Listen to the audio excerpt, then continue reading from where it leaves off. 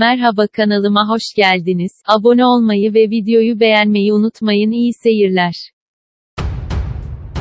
Haftanın bombası yarışmaya yeni katılan Özlem Hanım oldu. Pazartesi ve salı günü en yüksek puana ulaşan Özlem Hanım olurken kaynanası Nurten Hanım ilk iki gün kendi gelinin tabağına en yüksek puanı verdi. Yeni yarışmacı Özlem Hanım ve kaynanası bu yarışmaya gelmeden önce derslerine iyi çalışmışlar ve yarışmada bir şekilde kaynana Nurten Hanım gelinin tabağını tanımayı başarıyor.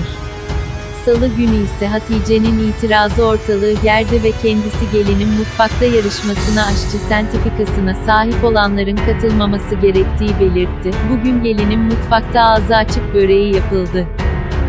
Fatih Yürek, ağzı açık börek listesini verdi kaynanalara da bir buçuk dakika içerisinde gelinlere tarif ve dikkat edilmesi gerekenleri söylediler daha sonra kaynanalar izleme odasına geçtiler. Hatice ve Yurdanur arasında saç benzerliği sebebiyle laf dalaşı oldu. Kaynana Nurten Hanım gelini Özlem ile kavgasını diğer kaynanaları anlattı. Hatice Yurdanur'a sataşarak Yurdanur'u bu hafta göndereceğini söyledi. Gelinler yemekleri yaptıktan sonra sunuma geçildi. Kaynanalar yemekleri tattı ve puanları verdiler.